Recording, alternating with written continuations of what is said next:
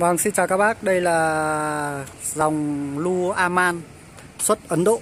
Dòng lu 11 tấn mới 100% các bác nhé.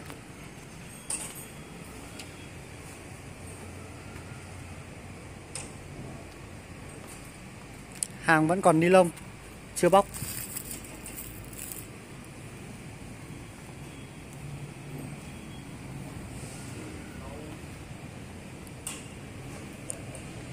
Cabin mái che hai đèn.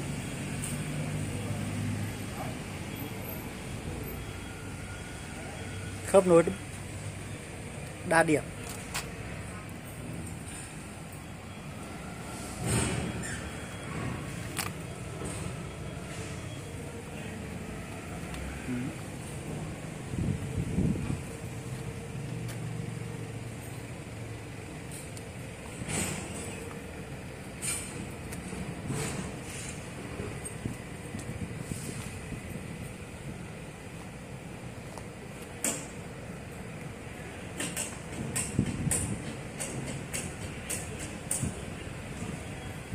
Em mời các bác lên xem à, cabin của máy.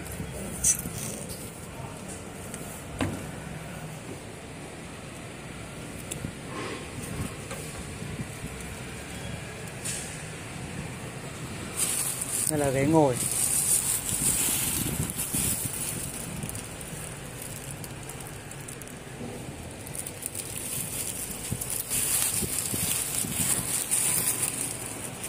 Vẫn còn nguyên đi lông